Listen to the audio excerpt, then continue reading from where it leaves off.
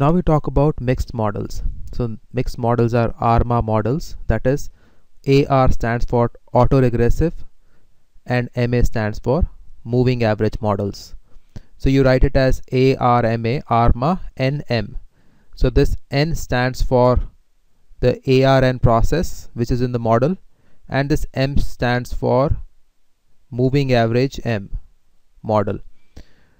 So the model could be something like this. Y is equal to c phi 1 y t minus 1 all the way to phi n y t minus n. So this is nothing but a AR model. It's autoregressive and this is n lags but you also add to it a moving average model. This moving average model is with m lags so this is moving average m lags a simple example is that uh, we can model such a process so this is again ARMA 22 so first we focus on the autoregressive. So this part is autoregressive. It has two lags t minus 1 t minus 2 and that is why we have 2 here. Then we have the moving average. So this part is moving average. This one lag here and one lag here. So you have two. So this 0.88 I've copied here. This minus 0.48 is here. And then we talk about moving average. This minus 0.22 is here and 0.24 is here. So this is the command for simulation. So arima.sim is simulation. N equals to 100 is that we are going to generate a vector of size 100 so this w is nothing but a vector of values. So it contains values w1 w2 w3 it contains these 100 values.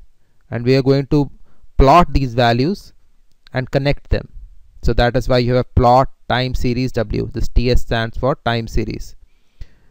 This innov r norm 100 means that we are always going to draw this error term epsilon out of normal random variable 0 1 this 100 stands for this 100 so you could have written the same thing as r norm 100 comma 0 comma 1 so in case you want to have a random variable with different mean and different variance you just change the mean here and the variance here.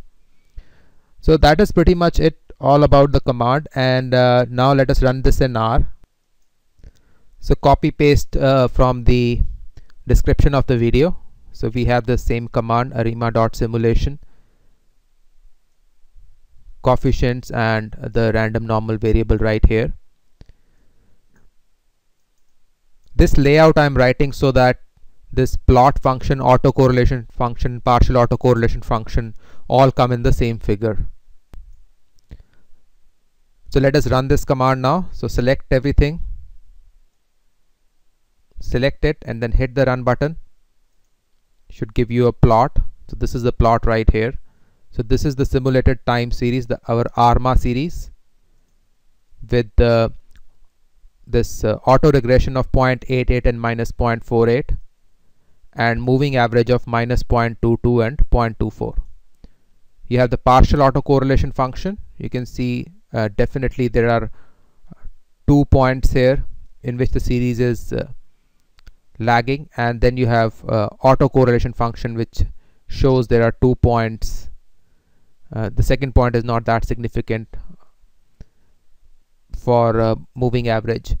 Now the problem here with ARMA process is that these both autocorrelation function and partial autocorrelation fun function do not uh, work really well.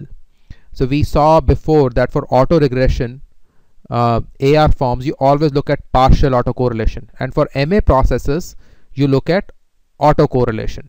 So again uh, for AR process you look at partial correlation to find the number of lags and for MA you look at autocorrelation.